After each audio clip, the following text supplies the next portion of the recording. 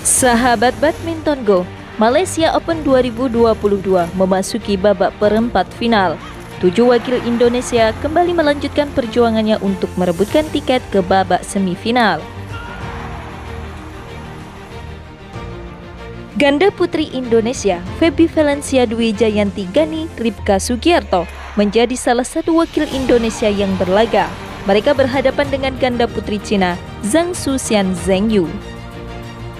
Jika melihat dari posisi ranking BWF, ganda putri Cina tersebut jauh lebih unggul.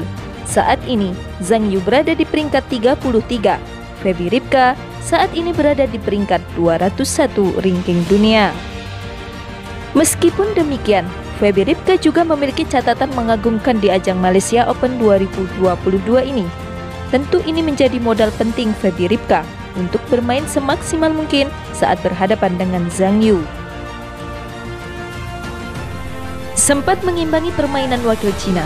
Namun akhirnya, dengan keuletan dan kemampuan bermain yang apik di game pertama, Zhang Yu berhasil menuntaskan permainan dengan kemenangan 21-13.